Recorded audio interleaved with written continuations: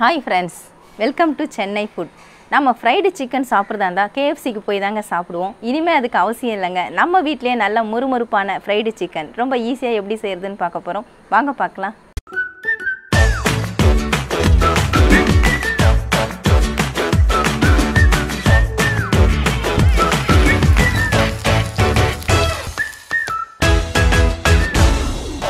Fried chicken செய்கிறதுக்காக நான் அறநூறு கிராம் அளவுக்கு சிக்கன் பீசஸ் எடுத்திருக்கேங்க. எல்லாமே பார்த்தீங்கன்னா நான் லெக் பீசஸ் தான் எடுத்திருக்கேன். தோல் நீக்கிட்டு எடுத்திருக்கேன். சுத்தமாக க்ளீன் பண்ணி வாஷ் பண்ணி எடுத்திருக்கேன். இதில் நம்ம கட் பண்ணி விட்டுக்கலாம்.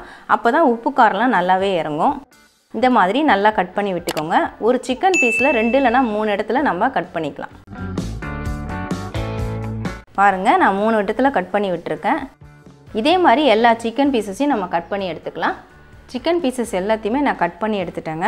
பாருங்கள் இந்த மாதிரி மூணு கீரல் போட்டு விட்டுக்கலாம். சின்ன பீஸாக இருந்தால் ரெண்டு கீரல் போடுங்க. பெருசாக இருந்தால் மூணு கீரல் போட்டுக்கோங்க. நான் எல்லா பீஸையுமே போட்டு எடுத்துட்டேன். இப்போ அடுத்ததாக நம்ம மிக்சிங் பண்ணிக்கலாம். சிக்கனை மிக்ஸ் பண்ணுறதுக்கு ஒரு மிக்சிங் பவுல் எடுத்துக்கோங்க. நான் ஒரு ஸ்பூன் அளவுக்கு டொமேட்டோ கெச்சப் எடுத்திருக்கேன். அதை நான் இதில் சேர்த்துக்கிறேன். ஒரு ஸ்பூன் சோயா சாஸ் ஒரு ஸ்பூன் இஞ்சி பூண்டு பேஸ்ட் ஒரு டேபிள் ஸ்பூன் அளவுக்கு சிக்கன் மசாலா எடுத்திருக்கேன். சிக்கன் மசாலா இல்லைனா கரம் மசாலா சேர்த்துக்கோங்க. அரை ஸ்பூன் மிளகுத்தூள். அரை ஸ்பூன் சால்ட்டு இது எல்லாத்தையும் சேர்த்துட்டு நல்லா கலந்து விட்டுக்கலாம். இப்போ கட் பண்ணி வச்ச சிக்கன் பீசஸை இதில் சேர்த்துக்கலாம்.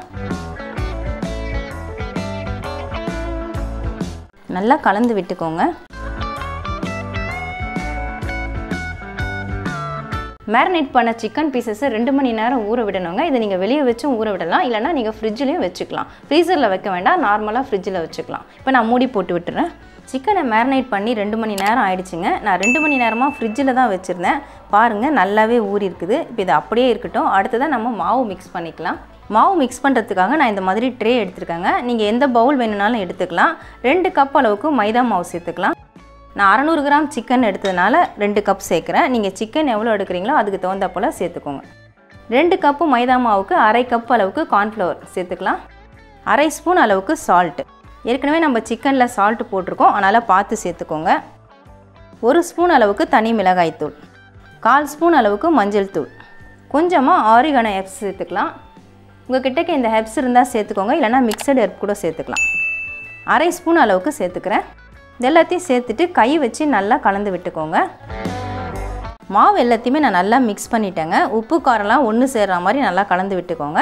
இப்போ சிக்கன் பீஸ் எடுத்து இதில் பரட்டிக்கலாம். நல்லா மாவு அள்ளி போட்டு பரட்டி விடுங்க.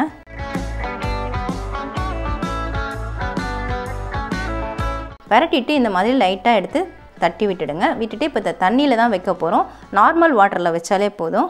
ஃபியூ செகண்ட்ஸ் வச்சா போதும். இப்போ தண்ணியிலேருந்து எடுத்துடலாம். தண்ணி கொஞ்சம் வடிய விட்டுட்டுடுங்க மறுபடியும் இந்த மிக்ஸ் பண்ண மாவில் வச்சு நல்லா பரட்டிக்கணும்.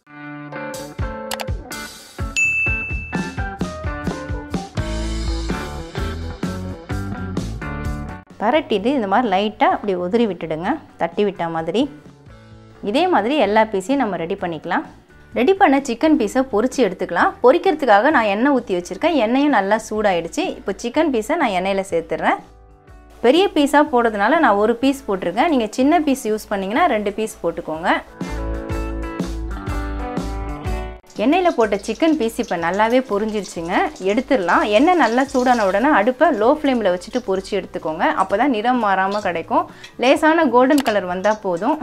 அவ்வளவுதாங்க. சூப்பரான கேஎஃப்சி ஸ்டைலில் ஃப்ரைடு சிக்கன் ரெடி ஆயிடுச்சுங்க. நம்ம வீட்லேயே ரொம்ப ஈஸியாக ரெடி பண்ணிட்டோம். ரொம்ப ரொம்ப கிறிஸ்பியாக இருக்கும். ரொம்ப டேஸ்ட்டாக இருக்கும். கண்டிப்பாக ட்ரை பண்ணி பாருங்கள் நம்ம வீட்லேயே கேஎஃப்சி ஸ்டைலில் முறுமுறுப்பான ஃப்ரைடு சிக்கன் எப்படி செய்கிறதுன்னு வீடியோவில் பார்த்துருப்பீங்க. ரொம்ப ரொம்ப டேஸ்ட்டாக இருக்குங்க. கண்டிப்பாக ட்ரை பண்ணி பாருங்கள் உங்களுக்கு இந்த வீடியோ பிடிச்சிருந்தா லைக் பண்ணுங்கள் ஷேர் பண்ணுங்கள் சப்ஸ்கிரைப் பண்ணுங்கள் பக்கத்தில் இருக்க பெல் ஐக்கானை கிளிக் பண்ணிக்கோங்க. அதில் ஆள்னு ஒரு ஆப்ஷன் காட்டும். அதையும் கிளிக் பண்ணிக்கோங்க.